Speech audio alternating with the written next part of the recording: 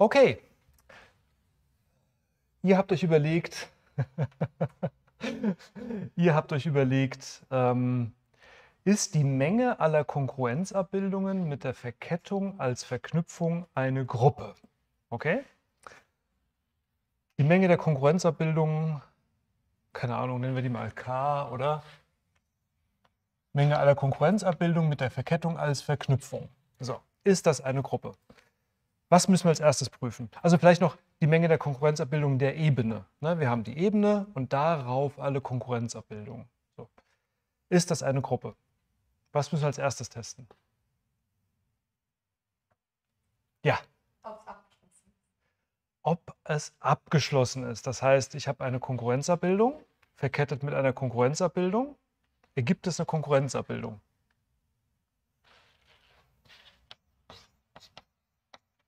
Ergibt es eine? Ja?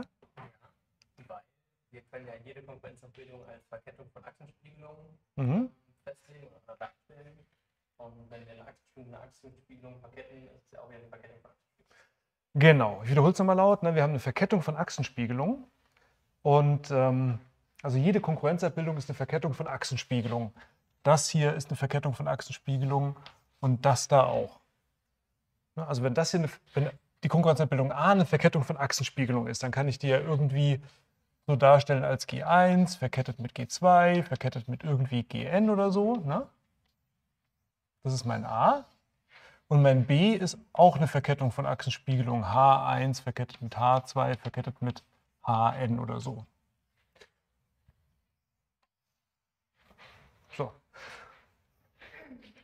Ja, und wenn ich jetzt eine Verkettung von Achsenspiegelungen verkette mit einer Verkettung von Achsenspiegelungen, kommt eine Verkettung von Achsenspiegelungen raus. Das heißt eine Konkurrenzabbildung. Check. Abgeschlossenheit gilt. Was müssen wir als nächstes prüfen?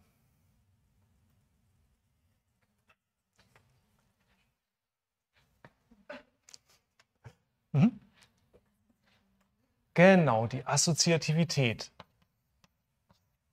ist also, wenn ich zwei Konkurrenzabbildungen verkette und mit einer dritten, so, oder erst A und B verkettet mit C, ist das das gleiche wie A verkettet mit B verkettet mit C.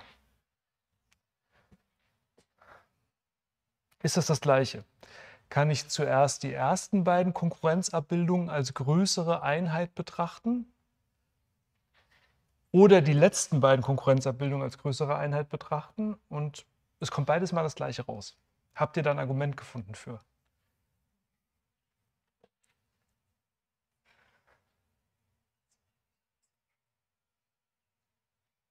ChatGPT hat kein Argument gefunden, ne? Kein wirkliches. Wir haben es ausprobiert. genau. Hat sich rumgewunden und mit Beispielen argumentiert und äh, uns gesagt, was wir eigentlich tun müssten, aber nicht die Antwort gegeben. Ja. Hm. Das war der schwierige Teil bei der Aufgabe. Wenn man das Argument nicht kennt, das ich euch gleich anführen werde. Und zwar gehen wir mal auf eine allgemeinere Ebene. Konkurrenzabbildungen sind ja Abbildungen. Das heißt Funktionen. Ich stecke da Punkte rein und es kommen wieder Punkte raus. Also ich habe eine Abbildung, ich sage, gib einen Punkt rein und die Abbildung sagt mir, auf welchen Punkt der Punkt abgebildet wird. Das macht sie für jeden Punkt. Das heißt, ich habe eine Funktion, die kann man mit so einer Maschine darstellen. Das ist meine erste Konkurrenzabbildung. Wenn ich hier oben einen Punkt reinstecke, kommt da unten der Punkt raus, auf den der Punkt abgebildet wird. Eine Abbildung oder Funktion. Okay? Input, Bearbeitung, Output. Das ist jetzt meine Funktionsmaschine. Was passiert jetzt weiter, wenn ich den Punkt in A reingesteckt habe, kommt der Output-Punkt raus. Was passiert mit diesem Output, wenn ich jetzt diese Reihenfolge da habe? Ja? Genau, der plumpst sofort hier in die nächste Maschine rein, ne? die B heißt, und kommt unten wieder raus als der Punkt, der dann von B abgebildet wird. Wie geht's weiter?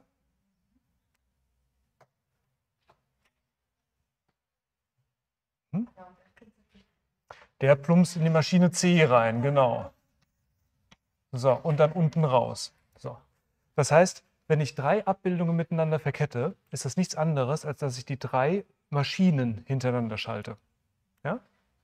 Ich schalte drei Maschinen hintereinander. Die jeweils Input, der Output von der einen Maschine ist der Input von der nächsten Maschine. Jetzt bleiben wir mal bei diesem Maschinenmodell. Und jetzt überlegen wir uns, was Assoziativität bedeutet. Ja, kannst du sagen?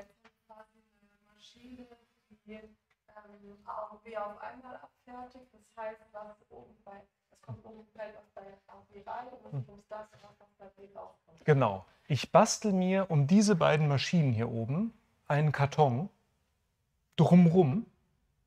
Okay?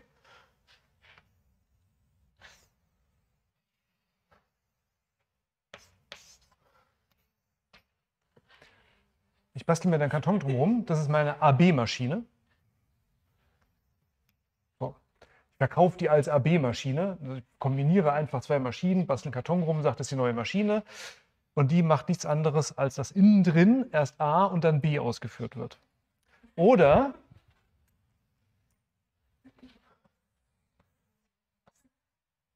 ich verkaufe eine BC-Maschine, die nichts anderes macht, als einen Karton, um die Maschinen B und C zu basteln. Das heißt, ich habe drei Maschinensituationen. Die erste ist, ich habe die drei kleinen Maschinen hintereinander geschaltet, A, B und C. Oder ich habe die große Maschine AB und dann C hinten dran gehängt. Aber in AB passiert nichts anderes innen drin, als erst durch A und durch B zu schleusen.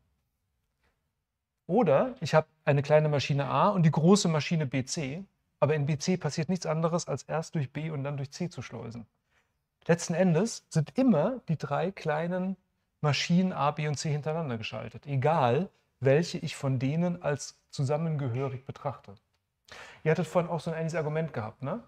Wenn ich die Konkurrenzabbildung auf Achsenspiegelungen reduziere,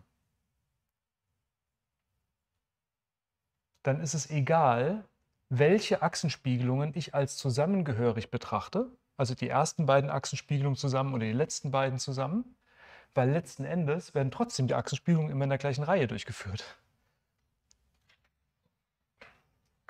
Wenn ich folgende Situation habe, Achsenspiegelung A, B und C. Wenn ich die, die hier habe, ne, dann ist es egal, ob ich A und B zusammen als Verschiebung betrachte und dann C ausführe oder ob ich B und C zusammen als Drehung betrachte und hinter A ausführe. Letzten Endes werden die drei Achsenspiegelungen A, B, C immer hintereinander ausgeführt. Egal, welche ich von oben sozusagen als zusammengehörige Einheit betrachte. Die Reihenfolge ändert sich nie und die Achsenspiegelung in der Reihenfolge nicht. Das heißt, Assoziativität gilt. Check. Ihr dürft in der Prüfung das Maschinenmodell aufzeichnen. und mir das dann vielleicht nochmal anhand von Achsenspiegelungen erklären. Das bedeutet aber, die Verkettung von, die, Ver, die Verkettung von Funktionen ist immer assoziativ, auch in anderen Bereichen. Also wenn ihr irgendwie reelle Funktionen habt, f von x, g von x, h von x oder so, wenn die miteinander verkettet, ist assoziativ. Weil immer dieses Maschinenmodell im Background für Abbildungen gilt. Okay. Was müssen wir noch zeigen, wenn wir zeigen wollen, die Menge aller Konkurrenzabbildungen mit der Verkettung ist eine Gruppe. Ja, Jede Abbildung braucht eine Moment. Ja, ja, wir könnten jetzt schon auf die Inversen gehen. Wir brauchen aber erstmal, bevor wir uns überlegen, das neutrale Element. Genau. So. Gibt es ein Neutralelement?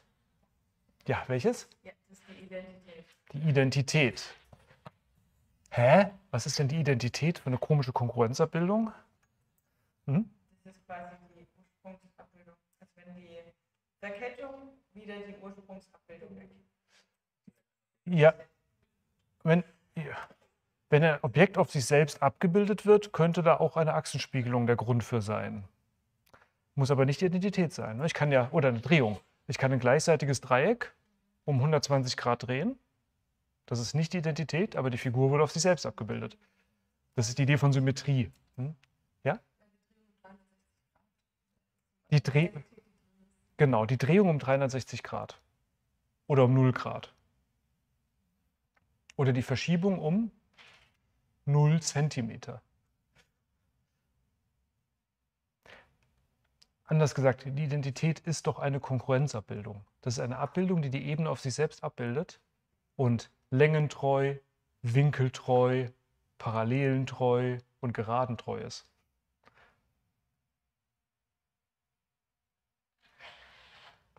Okay. Die Identität ist eine Menge der Konkurrenzabbildung. So, und jetzt brauchen wir noch die, äh, die Inversen. Ne? Also nicht das Inverse bitte, sondern die Inversen. Wir müssen gucken, gibt es zu jeder Konkurrenzabbildung eine inverse Abbildung? Welche könnten das sein? Gehen wir sie mal durch. Ja. Genau, bei der Achsenspiegelung, zeichnen wir mal so ein, bei der Achsenspiegelung A ist die Achsenspiegelung zu sich selbst invers. Man sagt auch selbstinvers. Ne? A verkettet mit A ist gleich ID. Okay.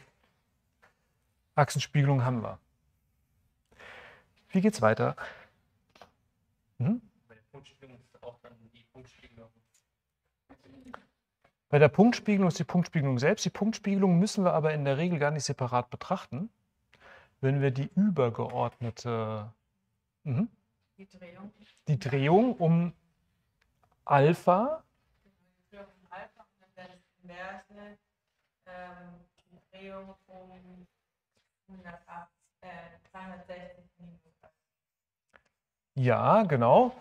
Ähm, wir müssen noch ein bisschen genau um den gleichen Drehpunkt. Genau, also ich habe die Drehung um den Drehpunkt P ähm, um den Winkel Alpha. Und wenn ich das verkette mit der Drehung um denselben Punkt, wir können ruhig minus Alpha schreiben, ne? dann kommt die Identität raus. Okay, jetzt haben wir die Achsenspiegelung, die Drehung. Weiter geht's. Mhm. Verschiebung.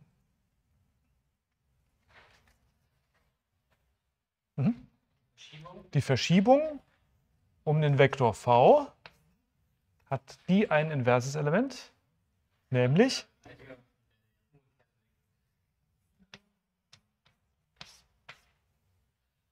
minus v. Gibt die Identität. Genau. Übrigens muss man auch immer, was ich jetzt nicht hingeschrieben habe, Vorsicht, Vorsicht, Vorsicht, äh, auch links ran verknüpfen. Ne, weil wir wissen ja nicht, ob es kommutativ ist oder nicht. Können wir uns gleich nochmal überlegen. Also müssen wir auch dazu schreiben, also die Drehungen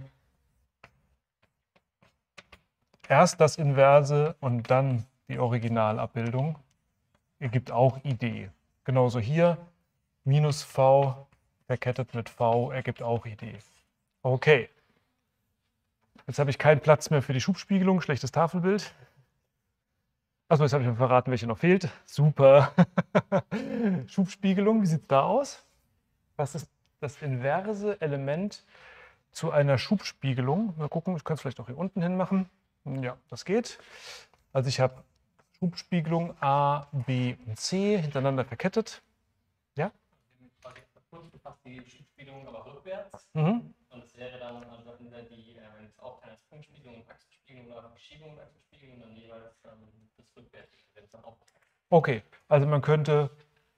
wir können auch die drei Achsen einfach so nehmen. Ne? Und wir könnten auch Verschiebung und Achsenspiegelung nehmen und so. Aber wenn wir wissen, A verkettet mit B, verkettet mit C, was ist die Umkehrabbildung?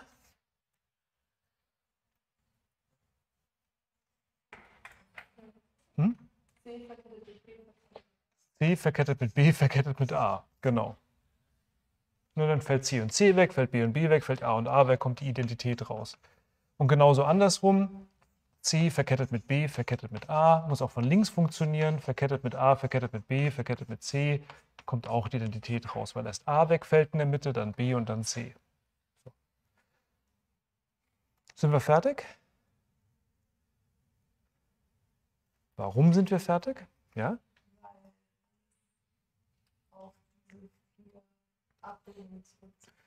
Genau, wir haben mit dem Reduktionssatz bewiesen, alle Konkurrenzabbildungen können zurückgeführt werden auf Achsenspiegelung, Drehung, Verschiebung oder Schubspiegelung. Also auf eine Konkurrenzabbildung, die aus maximal drei Achsen besteht. Damit haben wir gezeigt, zu jeder Konkurrenzabbildung, jede Konkurrenzabbildung ist eine von den vier Typen. Das heißt, es gibt zu jeder Konkurrenzabbildung ein inverses Element.